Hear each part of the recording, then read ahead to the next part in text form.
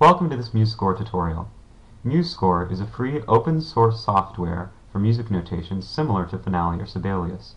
This tutorial should cover most of the features that you would need to notate your homework assignments.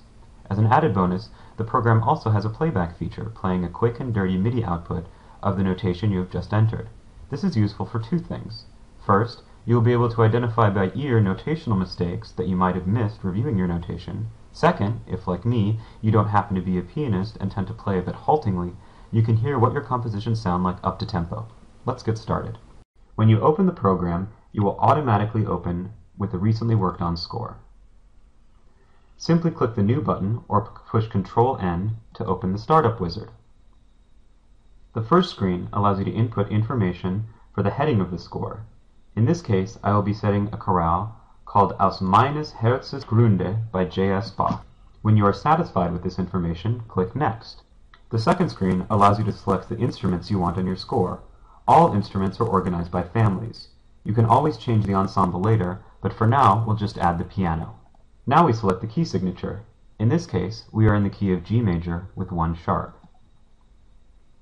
The following screen allows you to set your time signature, which in this case is 3-4, Select the length for a pickup measure, which for our example will have only a single beat, and choose the number of measures for your example. Our tutorial score has only four measures. Then you hit Finish. Now we are on the editor screen. On the top, you have note values, accidentals, and other features, including rests. On the left, you have many, many special options. In this tutorial, we will only be adding fermatas from the Ornaments and Articulations menu, and Slurs from the Lines menu. But let's start by adding notes. Select the large N button to enter the note input mode. Then select the duration you want. The first note of our piece is a quarter note, which is already selected.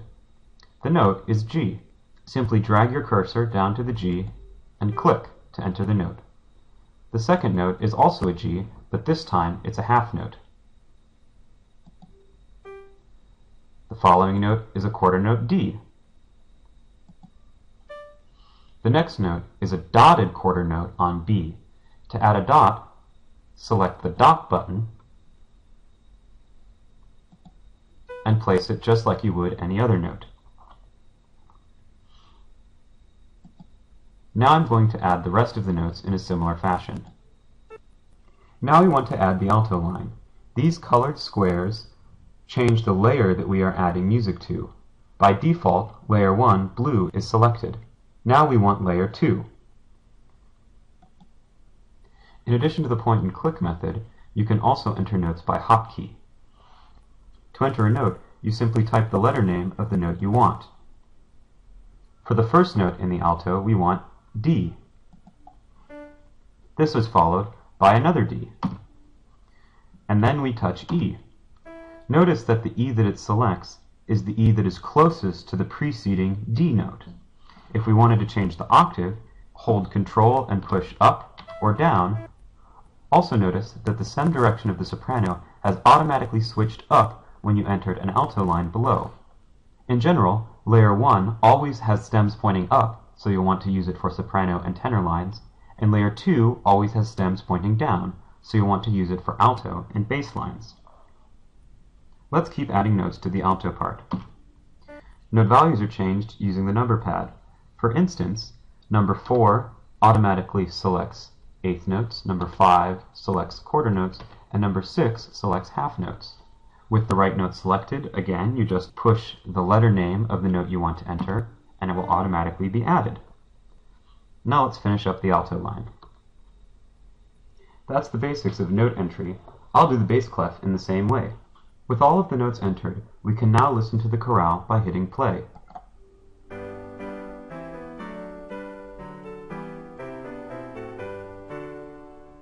Now let's add some slurs and fermatas for finishing touches. We'll start with the fermatas.